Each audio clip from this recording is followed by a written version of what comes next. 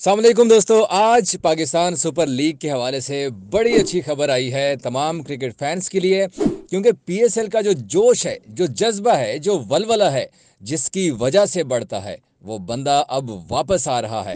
कोई और नहीं, बल्कि हम अली ज़फ़र की बात कर रहे हैं, जिन्होंने पीएसएल के पहले तीन सीज़न के बड़े ज़बरदस्त एंथम गाए थे, जिनके एंथम ज़ुबान जदेआम हुए थे। बच्चा बच्चा एक ही एंथम तीनों एंथम में से जो सबसे ज़्यादा मशहूर हुआ था ना, वो था, फिर सीटी बजेगी स्टेज सजेगा और ताली बजेगी, अब खेल जमेगा। ये एंथम ऐसा था कि बच्चे बच्चे की ज़ुबान पे होता था। जब भी आप पीएसएल का नाम लें और अली जफ़र का नाम लें तो सबसे पहला जो एंथम आता था, बल्कि अभी तक पीएसएल के तकरीबन आठ सीज़न हो चुके हैं, और इन आठ सीज़न में अगर कोई एंथम सुपर डुपर हिट हुआ तो वो अली जफ़र का था।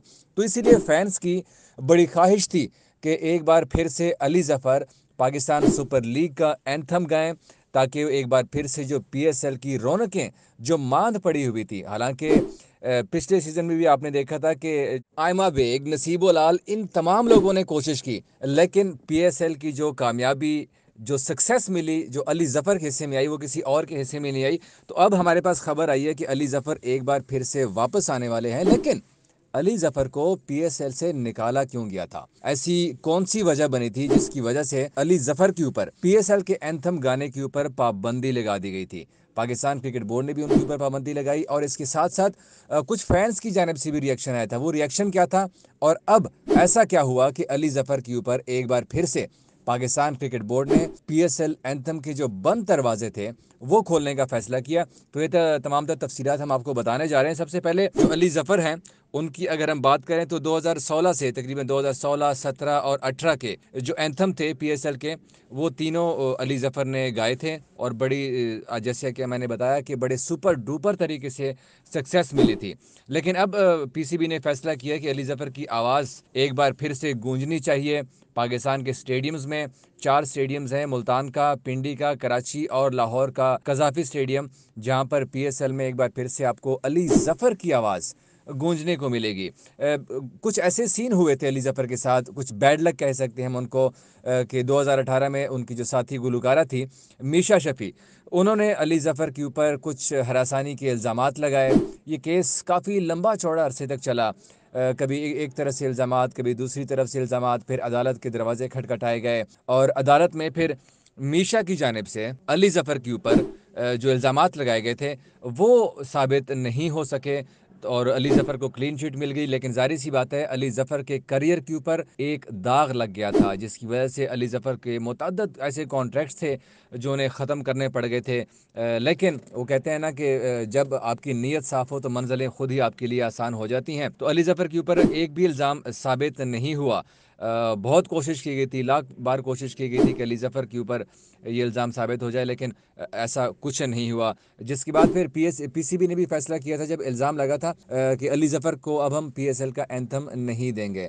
क्योंकि ज़ाहिर सी बात है, ये इल्ज़ाम बहुत बड़ा था और पी सी बी नहीं चाहता था कि पी एस एल किसी भी वजह से कंट्रोवर्सी का शिकार हो जाए और उन्होंने अली जफ़र के ऊपर पाबंदी लगा दी थी। 2018 के बाद से, हालाँकि हमने देखा कि 2022 और 2023 के सीज़न में बहुत बड़ी कैंपेन चल गई थी।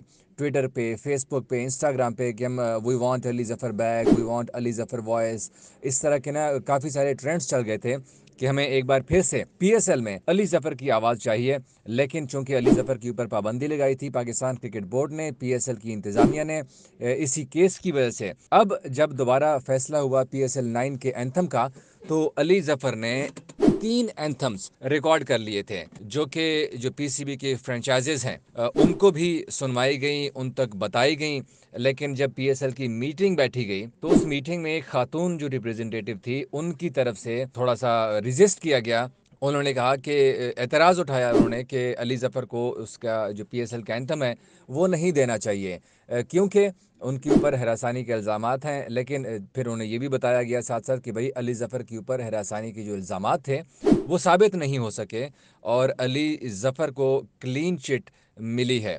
तो इस बार फिर अब इम्कान पैदा हो गया। हालाँकि जक अशरफ जब थे अपने टेन्योर में चेयरमैन मैनेजमेंट कमेटी तो उन्होंने इनकार कर दिया था अली ज़फ़र को कॉन्ट्रैक्ट देने से और उन्होंने इसके ऊपर साइन नहीं किया था। लेकिन अब क्योंकि मैनेजमेंट चेंज हो चुकी है सारी और सबसे जो बड़ी बात है, वो ये है कि माजी में जो अली ज़फ़र के ऊपर इल्ज़ाम लगाए गए थे ना, वो साबित नहीं हुए और इसीलिए इस बेस के ऊपर अली ज़फ़र को पी एस एल का ना देना ज़्यादती होगी, क्योंकि इल्ज़ाम साबित नहीं हुआ। हाँ अगर इल्ज़ाम साबित हो जाते तो फिर अली ज़फ़र को पी एस एल का एंथम नहीं दिया जाना था।